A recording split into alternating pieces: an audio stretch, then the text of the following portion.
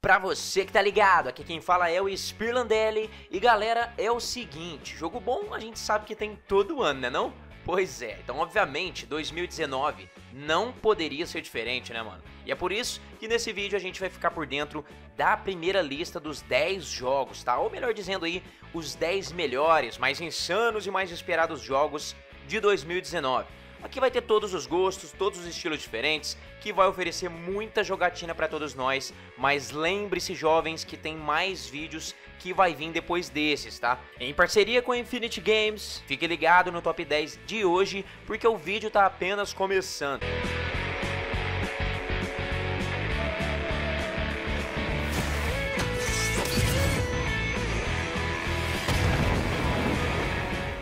Começando a lista, a gente vem falar de um dos jogos que mais tem deixado o jogador puto de raiva, inclusive eu, velho.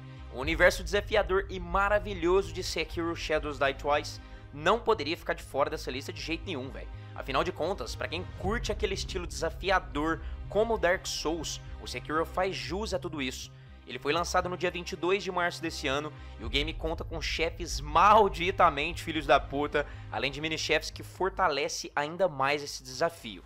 A nossa missão no jogo, galera, é a proteção sobre o herdeiro divino, mas com o decorrer da história, né, tudo isso pode mudar. Sekiro Shadows Die Twice tem disponível para o Xbox One, para o PS4 e para o PC também. E se você tem problemas sérios com jogos difíceis, eu aconselho que você nem passe perto desse jogo.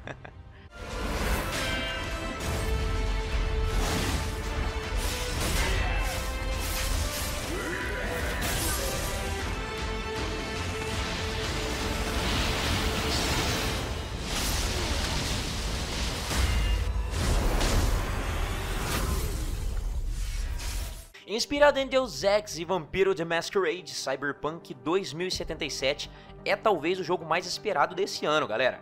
Ele tem um visual futurista e a nossa missão, além de explorar esse mundo de Night City, que é a cidade do game, é tentar também controlar o conflito desenfreado de gangues que vive por ali. Afinal de contas, galera, o Night City é um local sem lei onde a cidade é dependente da robótica nos aspectos aí cotidianos como a coleta de lixo, né, a manutenção e o transporte público também. Eu já falei muito sobre Cyberpunk 2077 num vídeo aqui do canal. Se você ainda não conferiu e quiser ficar por dentro de uma forma mais dinâmica, é só clicar nesse cartão que aparece no canto superior direito para você na tela agora, beleza? Tá na hora de uma vez por todas de derrubar o Império Garleano. Final Fantasy XIV Shadowbringers é a terceira expansão de Final Fantasy XIV e ele foi anunciado em novembro de 2018.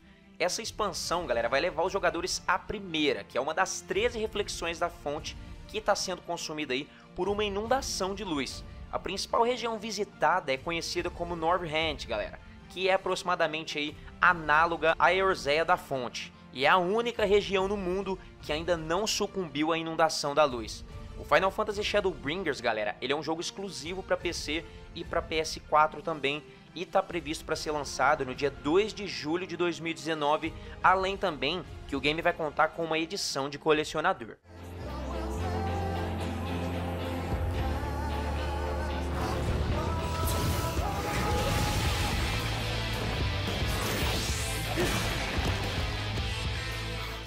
A essência de Days Gone se resume à sobrevivência. Sim, a gente sabe bem disso.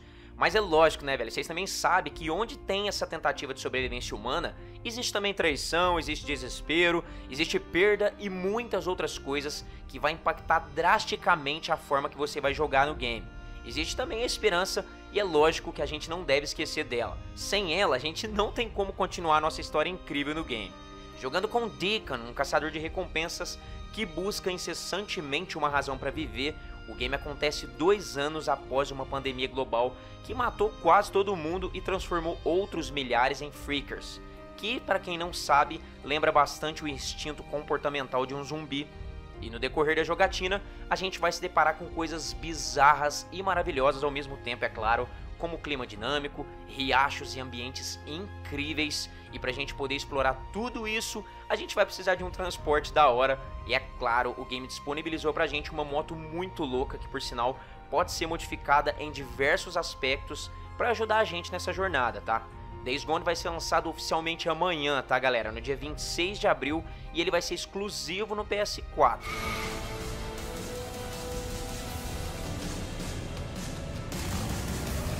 O que precisa perguntar é do que vai adiantar se as outras pessoas morrerem. Outro jogo que pouco se fala dele, que apesar da gente saber pouco também sobre ele, galera, é o Project Awakening, tá? Um game que chamou muita atenção no seu anúncio da E3 passada. E pelo que parece, o jogo é bastante parecido com mecânicas de Dark Souls, tá? Ele pelo menos no seu primeiro trailer impressionou bastante, apesar da gente não saber muito sobre a história do jogo, mas o que eu tenho certeza é que para enfrentar esse dragão aí, o cara passou muito perrengue e não foi nada fácil. A pequena descrição que se sabe até agora sobre o jogo é uma frase que apareceu no trailer que fala sobre é hora dos lobos de guerra despertarem. Será que esses lobos de guerra é um exército de poucos homens ou o dragão seria um lobo de guerra que a gente precisa eliminar? Bem, precisamente eu não sei, mas o que eu sei, galera, é que vai rolar bastante combate sanguinário pelo que parece, tá? E qualquer novidade que rolar sobre o game, eu vou compartilhar com vocês. Lembrando, pessoal, que o game está previsto para ser exclusivo no PlayStation 4, tá? Até onde a gente sabe, pelo menos.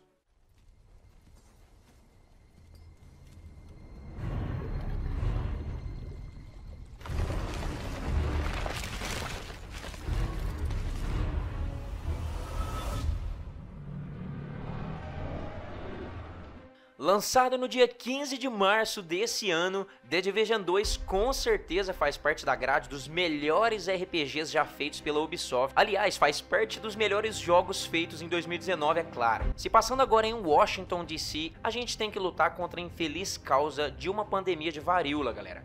Para quem não sabe, o The Division 2 ele é um jogo jogado em terceira pessoa e acontece 7 meses depois do primeiro The Division. E se você tem um PlayStation 4, um PC ou um Xbox One, fica tranquilão, meu amigo, porque você vai poder jogar o game em todas essas plataformas, tá? Our leaders are dead or missing.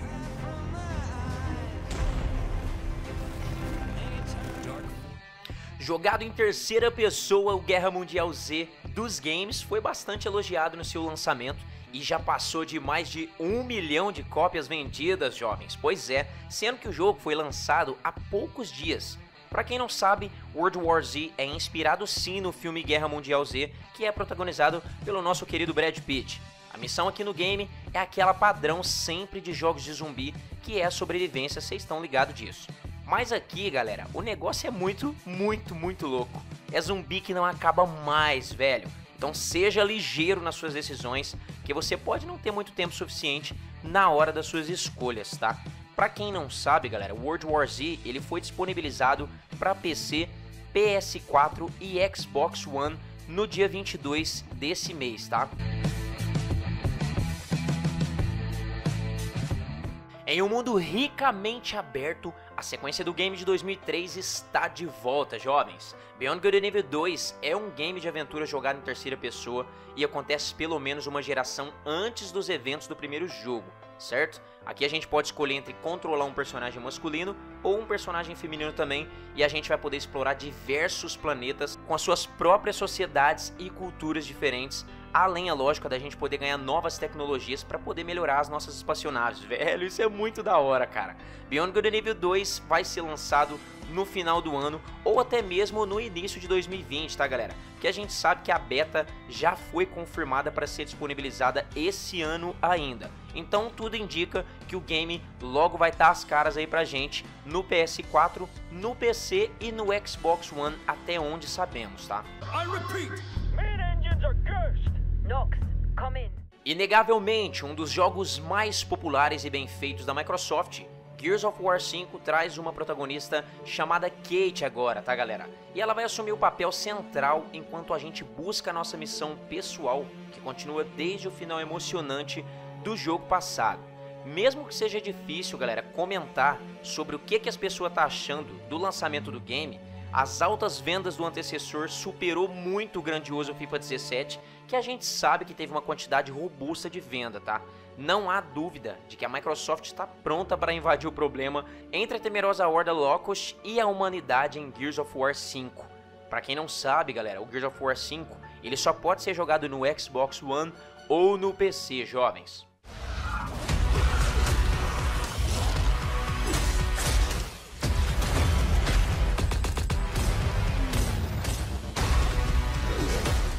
O projeto ambicioso do nosso querido Kojima se torna cada vez mais misterioso. Ambientado em um mundo aberto, Death Stranding inclui funções para vários jogadores, de acordo com Hideo Kojima. Um dos principais aspectos do jogo é a ideia de uma conexão entre a vida e a morte. E pelo que parece, galera, em Death Stranding a gente vai controlar o personagem Sam, que logo morre no game e é enviado para um outro mundo, que parece ser um mundo invertido submerso na água. Outra coisa bizarra no jogo, galera, é um tipo de chuva chamada Timefall, que tem a capacidade de envelhecer e deteriorar onde ela cai. Nossa, cara, Death Stranding tem muita coisa sinistra acontecendo, e o que nos resta é aguardar para colocar as mãos nessa obra de arte impecável do Kojimão. O game é exclusivo para PS4 e, pelo que parece, ele pode ser lançado até o final de 2019. Portanto, aguardemos, né?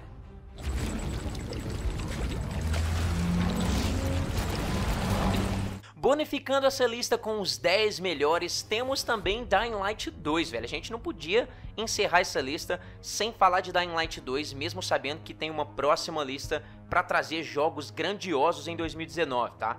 Com uma jogabilidade muito semelhante ao primeiro jogo, o Dying Light 2 traz escolhas que a gente vai ter que fazer durante a história, como consertar aí um suprimento de água para os cidadãos, né? Além de outras coisas.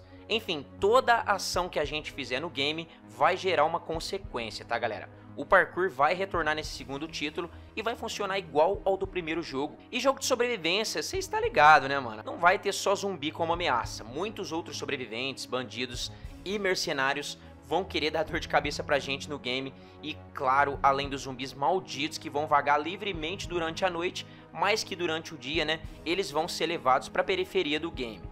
O Dying Light 2, velho, ele me lembra muito, muito State of Decay 2, principalmente nessa questão de escolhas, tá? Eu acho bastante que vai se parecer muito com State of Decay 2 em algumas mecânicas. Eu tô muito ansioso porque eu gostei bastante de State of Decay 2. É, eu acho que Dying Light realmente vai ser um jogaço de zumbi também. Para quem não sabe, ele vai sair no PS4, no PC e no Xbox One também, tá, pessoal?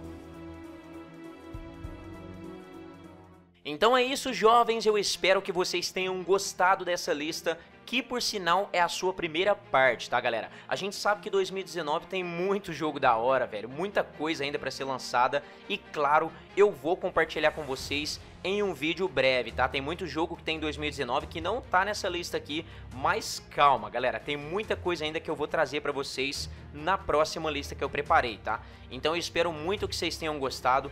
Claro, se você gostou do vídeo, não esquece de deixar o dedão aí no like para fortalecer o crescimento do canal e lógico, né, não se esquece de se inscrever aqui no canal, tá, pessoal? Isso ajuda muito. Compartilhe o vídeo aí com seu amigo para ele ficar antenado sobre as grandes novidades de 2019, certo? E até o próximo vídeo, jovens. Um grande abraço a todos. Tudo de bom sempre. Valeu. Falou.